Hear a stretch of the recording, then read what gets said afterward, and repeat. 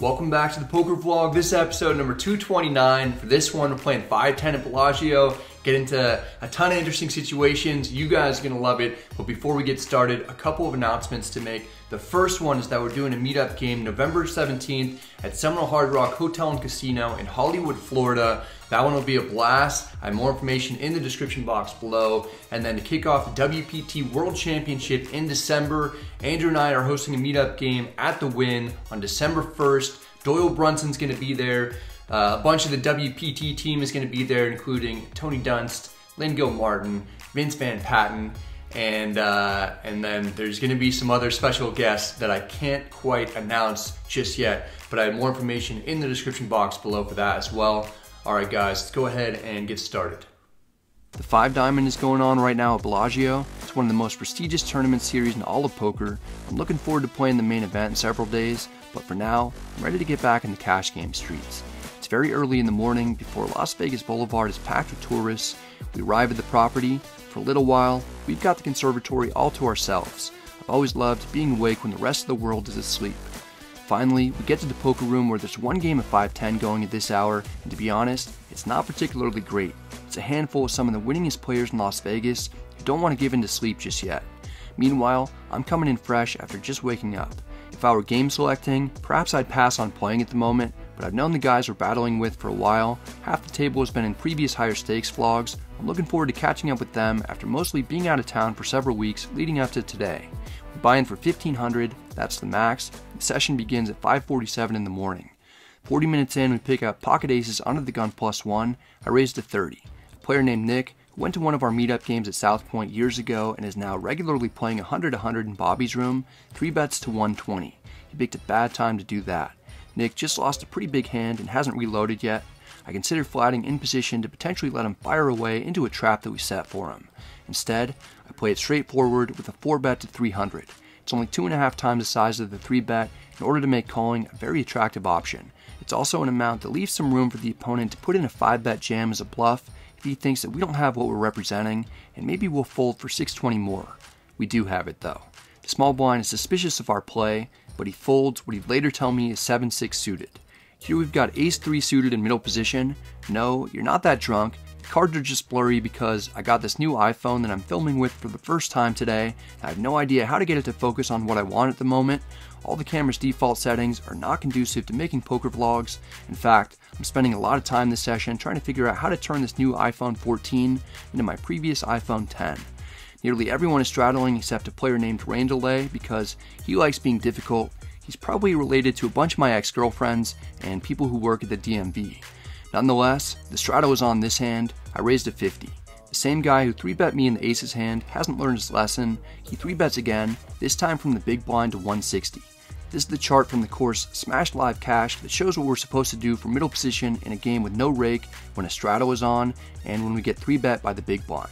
It's one of 4,808 preflop charts that comes with the course. I've never seen anything as extensive as this that covers so many different preflop scenarios. I have a link down below in the description box if you'd like to purchase the course that comes with these charts and way more. We see here that when we're facing a 4.6x 3-bet sizing, we should mostly fold ace-3 suited while mixing in a small sliver of 4 bets as bluffs. The opponent in this instance used a much smaller sizing of about 3 times my initial raise size. Because of that, and the fact that we're in position, I can justify calling more frequently since I'm getting a decent price. I call for 110 more, we're heads up, the flop comes 10-4-3 with two hearts, we've at least got a pair. The big blind down bets to 100. There's no way that we're folding a pair. I call to see how the opponent's going to play future streets. The turn is another 10. This card freezes the big blind. He checks. We have a hand with a decent amount of value that we don't need to turn into a bluff. I check back. The river is the jack of clubs. The big blind checks one last time. Still, no need for us to bet because worse hands likely won't be calling and better hands won't be folding. I check back hoping that we're up against ace king or ace queen. The big blind shows big slick we show that we outflopped him to get the win. It's a friendly table. We all know each other. I'm instructed to let you guys have a glimpse of the person's world we've been wrecking so far in this video. Yeah, get his face in too. this is Nick. If he looks familiar, it's probably because you recognize him from episode 98 titled Cracking Aces Twice, Most Ridiculous Hand I've Played, in which I cracked Nick's aces twice in a double board bomb pot in the most ridiculous hand that I played. Nick's hands can also be seen making an appearance in episode 186 when he set oversets us in the uncapped 1020 game and makes the minimum. He's done great so far on the vlog. An hour goes by, we've got ace 5 suited under the gun, the straddles are no longer on as frequently, I raised to 30. A player named Jeff, 3 bets to 110 from the hijack, Jeff actually went to a meetup game way back when we were doing them at Westgate 5 years ago. You may remember him from more recent vlogs such as episode 158 titled Ready for Nosebleeds, 60,000 on my left, when he was the guy who had 60,000 on my left. This was during a period of time when Jeff would buy into the games with his whole bankroll at risk. If you're wondering how that strategy panned out, look no further than the fact that Jeff is now playing 510. He's doing great tonight though. He's got about 7,000 in front of him. That amount might also be his entire bankroll. We've got a hand that will mix in calling and 4-bet bluffing with. We choose the more aggressive option and 4-bet to 400. Our line looks incredibly strong, especially considering our position. It doesn't phase Jeff. He calls for 290 more. That's alarming. If we don't connect in a big way, I may just shut down. We're heads up out of position in a big pot. The flop comes Jack 9 3 Rainbow. We don't even have a backdoor flush draw. Jeff is going to have overpairs and sets. We've got absolutely nothing. This is a rare instance on the vlog. When I throw in the white towel, I check. Jeff isn't checking back. He puts in a tiny bet at 200. There's very little chance that we're not in extremely bad shape, likely drawing dead to 3 outs or just to a backdoor straight or backdoor trips. Jeff could have a lot of strong hands or even something like Ace King that has me in terrible shape. I fold, hurts me to quit on a hand like that, but it's the right thing to do. Just giving up. Jeff, what do we have here? Oh, you get a hand for the vlog. Wow. A good hand. Fucking check was awesome. I had ace five of hearts. Jeff shows for you guys that he had the trap laid out nicely for me. Luckily, I do well to evade it. Jeff still gets $400 that I torched pre-flop. You know who doesn't have any of my money today though? Nick. We pick up ace king offsuit in the big blind and the straddle pot. Nick raises to 50 in the cutoff because he can't help himself when he's dealt two cards with either numbers or letters on them. The button calls with a short stack. We probably have the best hand. We need to make it more. I three bets at 250. Nick is over it. He folds. The button surprisingly calls, leaving himself with only 340 behind. It's substantially less than a pot-sized bet. It's going to make for an awkward situation if I don't make a pair. We're heads up out of position. The flop comes 7-5-3 with two diamonds. We completely miss. All we've got is two overs and a backdoor wheel draw. The question is, what do we do now? We could still have the best hand, so I'm not going to be check folding to a jam. Plus, if we don't currently have the best hand, we may have around 25% chance of winning the pot if the opponent has something like pocket eights. Since the button doesn't have much left in his stack, I decide it's best to see if he wants to play for all of it. Alright, I'm on. We don't have to sweat for long. The opponent snap folds. We probably did have the best hand. With this win, we go from being just barely stuck to being up 300. We're looking to add to our profit when we pick up pocket kings on the button just 15 minutes later. Rain delay opens at 30 in the hijack. I haven't battled with him too much other than in a 10-20 session at Aria earlier this year that was covered in a vlog. He's got perhaps the best nickname in poker. We're going to be 3 betting. I make it 100 to go. Ordinarily, 100 might be enough to win the pot immediately. Rain Delay is ready to play ball though. He 4 bets to 350. The opponent started the hand with 1635. We have him slightly covered.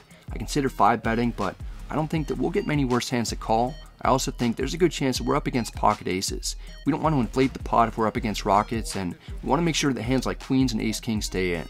I just call for 250 more. I've got a not so great feeling about this one. We're heads up in position. The flop comes 10-8-6 with two spades. We've got an overpair to the board, and we're still beating hands like ace, king, and queens. There aren't really any hands that rain delay would have 4-bet me with that would have improved on this flop, so the only hand in rain delay's range that we're losing to is still aces. He checks. After seeing that, my confidence in Cowboys raises quite a bit.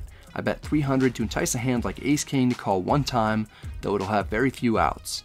There's no call. After about 40 seconds, Rain Delay announces that he's all in for 1285 total. My confidence level drops. I could still be up against queens or a hand like ace king of spades, perhaps another bluff of some sort. I can't fold, but I'm not fist pump getting it in either. I mean, I think you just, I, I call. I think you had me beat, but. Good luck, guys. Uh, I probably do currently. Yeah, you have aces? Yeah, that's why I just flatted. Nice hand, nice hand. Be nice, Dan.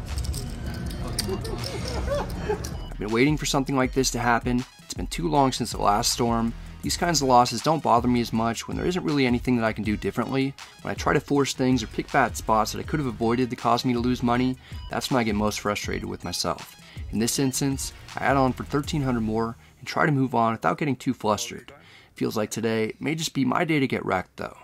Less than 15 minutes go by when we pick up Ace King suited in the big blind. Under the gun raises to 30. Jeff is in middle position. He calls. Jeff has a massive stack of about 9,000. We're in an attempt to heist to steal some of his chips. I 3 bet to 160. Under the gun folded before the bet hit the felt. Jeff apparently doesn't have too difficult of a decision. He takes some chips from his tower to call pretty quickly. We're heads up out of position. The flop comes Queen 10 3 with two spades. We've got a gutter ball and two overs. When Jeff flats the initial pre-flop raise and then my 3 bet, he'll have a lot of low to medium sized pocket pairs, maybe some suited connectors and Broadway hands too. I bet 200 is a semi bluff to get his pocket pairs that didn't improve to fold. This bet doesn't accomplish what I'd hoped. Jeff calls. I don't like it. The turn is the ace of hearts giving us top top. The issue is that king jack makes it straight and we could still be up against ace queen or ace 10 suited. I check for pot control purposes. I don't want to see the opponent make a substantial bet. He checks back. I love seeing that because it means we probably have the best hand. Maybe up against a draw of some sort or just one pair. The river is the king of spades. It's the worst two pair card that we could hit. Not only does the flush draw get there, but there's also four of the straight on board. I check. Another check back would be great. We don't get it. The opponent bets 200. It's about a quarter of the pot. I'm getting almost 5 to 1 on a call. I'm not good enough to fold. I match the bet. Jeff shows that he takes me to Value Town for the price of Nintendo 64 when it first came out, with Jack 10 of diamonds. A lead change occurred on every street that ultimately ends with the rich getting richer. I add on for 300 more, then the floor tells us the entire table has to move to another part of the room because soon they're going to start some tournaments where we're currently sitting. We pick up 8-7 suited at the new location. I raise to 30 from middle position. The hijack calls. I predict the cutoff will be getting cold for Christmas. There's no way he's making the nice list after he 3 bets to 130. Real move by him. At least our hand has a lot of potential. We're stuck. We call for 100 more. The hijack folds with her nice nails. It's down to heads up. We're out of position. The flop comes 10-7-4 rainbow. We've got middle pair and a lot of backdoor capabilities. I checked at the pre-flop aggressor. He's not going to be slowing down too much. He keeps the pressure on with a bet of 100. There's no way that we're folding. I'm going to be mixing in calls and check raises. There are so many cards that'll help our hand, including 7s, 8s, clubs, plus any jack, 9, 6, or 5 will give us a straight draw. With so many ways that we can improve, we don't necessarily need to turn our hand into a bluff while we're getting a good price. I call with plans of potentially check raising the turn. The dealer puts out the ace of clubs, giving us the flush draw. I check once again. There won't be an opportunity to check raise this time as the opponent checks back. He may be doing this for pot control with a hand like ace queen or ace king. He might also have something like pocket kings or queens. We don't hit the backdoor flush. The river is the eight of spades, giving us two pair. It's even better. We've got an extremely strong hand that the opponent likely doesn't expect us to have, particularly in a 3-bet pot. When we're in these types of situations with a hidden monster, I like betting big and going for the home run. I make it 400. There's no quick decision from the opponent. Must have a hand with at least some value. It's a polarizing bet that the cutoff is facing. After he checked back the previous street, I turn plenty holdings into a bluff. The opponent isn't quite able to make the call. He folds. I like the guy. I let him know that we got there on him. I never really mind showing people at the table what I have because it's so unlikely that we're going to be in the exact same situation again. 30 minutes later, we pick up 8-7 suited in middle position. I raise to 30. I predict the Easter Bunny will be skipping the cutoff's house in a few months after he 3 bets to 110. Not a cool move by him. Not cool at all.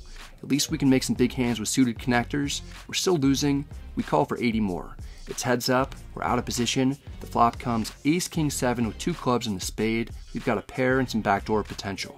I check to the cutoff. This is actually a much better flop for the 3 better than in the previous hand because there are two Broadway cards out there. The cutoff loves giving us discounts. He down bets to 80. I'm not considering putting in the check raise this time because the cutoff has a major range advantage given that he'll have sets of aces and kings plus ace king combinations that I won't have. The best hand that I'll have is a set of sevens. It's still too early to give up just yet. I call to see how the turn plays out. The dealer puts the 5 of diamonds on board. That's not a fun one that helps us at all. I check with plans to give up if we face a bet. We don't face one though. On a brick turn, the cutoff checks back, which reveals a lot about the strength of his hand. If he had a set, two pair, or an ace, I would have expected the opponent to fire again on the turn. Since he didn't even attempt to bluff, he probably has a hand with some value but not much, like pocket queens. we're going to be betting nearly every river card, especially this one. It's 7 of hearts. We make trips on an ace high board in a 3 bet pot with 8 7 suited after the club flush drop bricks and it checks through on the turn. It's pretty rare that we play a hand that's so similar against the same opponent within a 30 minute time frame. The key difference in this instance is that the opponent checked back on a turn that shouldn't have changed much, so it's way less likely that we're up against top pair. We still have hidden trips, so we'll be betting a significant amount, but the only way that we'll get called is if the opponent wants to bluff catch. I bet 450 to really punish any non-believing. The cutoff folds immediately. He probably had queens or jacks and wasn't happy with the flop. I can't help but let him know that we got there again on him with 8-7 suited. Pretty much the same hand, man. We're winning some medium-sized pots, but we're in for 3,100 total on the day, so we're still down a significant amount. Some work needs to be done if we want to get back to even or potentially make a profit this session. The table agrees to do a bomb pot. All eight of us put $30 in pre-flop, then go straight to a flop. We've got King 8 of hearts onto the gun plus one. It'd be great if the phone would focus on the cards properly, but it hates me like my girlfriend's youngest daughter did when I first met her. Hate's actually a strong word. I shouldn't say that. She would just sometimes say right in front of me, Mom, can you tell Brad to leave? The flop comes ace 9 deuce with two hearts. We've got a draw to the nuts. It checks to the hijack, who we love battling against with suited eights. He bets 130. Jeff is in the cutoff. He's not ready to go anywhere. He calls. I'm certainly not folding. I call. Three of us make it to the turn. It's the five of spades, putting a second flush draw on board. No help to us. I check. The hijack perhaps didn't like getting called in two spots on the previous street. He checks. There's very little chance that he has something better than one pair. The cutoff checks back. There's no way that he has better than one pair either. If we don't improve on the river, we may turn our hand into a bluff. The final card is the 10 of diamonds. The only way that we can win this at showdown is if somehow the other two players both happen to have flush draws that didn't make a pair.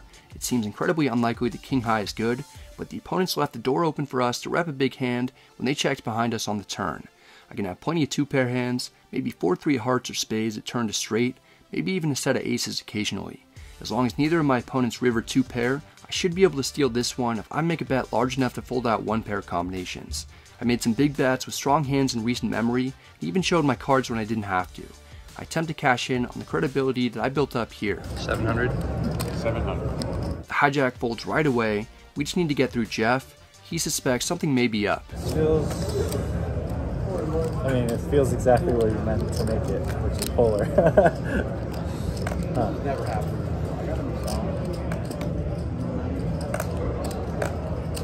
Like 9 10 of hearts. It is.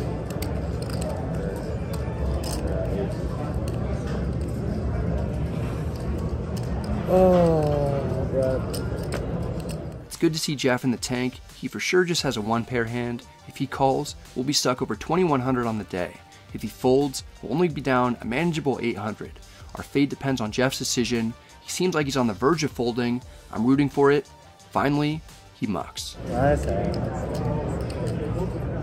All right, we got one through. Oh, no, no. Jeff got us with the aces earlier, then again with Jack 10 suited. I've got two words for him revenge. You know who I haven't gotten revenge on? Is rain delay. We get an opportunity with pocket queens in the small blind. Rain delay raises to 30 from the cutoff. That amount won't quite be enough to see the flop. I 3 bet to 120. If we get 4 bet again, that'd be rough. Rain delay calls, we're both deep, it's heads up and we're out of position. The flop comes 7-4-3 rainbow. I like that there's no ace or king out there, but it's pretty coordinated, and I rarely have anything better than one pair in this scenario. Rain delay could have all the sets, or even a hand like pocket fives, which will have plenty of equity. I check, mostly for pot control purposes. Rain delay apparently likes his hand enough to bet, he makes it 100 to go. I'm okay with that price. I call. We could still be up against medium pocket pairs that we're beating, or even high card hands. The turn is the deuce of hearts. It's probably okay for us if we were ahead previously. I'm somewhat flying blind here after check calling the flop. I check again. If we see another bet, I'll start getting worried that we could be up against a monster. The cutoff fighters for 370. There's a pivotal moment in the hand. One wrong move could cost me my whole stack. The adrenaline is pumping. There's really no better time to show you how elegant the ceiling is though. They do a phenomenal job here, and the ceiling guy needs to get more credit. Back to the hand because this is important. I know this board isn't great for me. Rain delay knows it as well. Is he bluffing with air, or is he actually strong enough to be betting a sizable amount on the turn after calling my 3-bet pre-flop and betting on the flop? He's representing hands stronger than one pair. If I call here, I may face a way bigger bet on the river. It could be up to two times the size of the pot or more. I'll worry about that if it happens. For now, I call knowing that there are very few cards that I'll want to see. The river is the eight of clubs. I check again while wondering how much the opponent's going to make it. The ball is in rain delay's court, and of course, we're to have to wait a little while. Eventually, we get a miracle check back. We've got to be good. I happily turn over the queens. Rain delay explains that his hand ended up being too good to fire a third bullet as a bluff. I was kind of excited to see what was going to happen if I bricked off, and I rivered a pair, so Rain delay doesn't show the table what he has. He later told me that he had 8-5 suited and made an extremely light 3-bet call pre-flop and almost pulled the trigger on a triple barrel bluff that had showdown value a top pair, so he checked it back. It's a huge win for us that almost gets us back to even. There's a football game on that I want to watch, so I'm ready to head out with a small loss. Despite Rain Delay winning a lot more from me today than I won from him, he decides to ruin the rock up shot. No, no.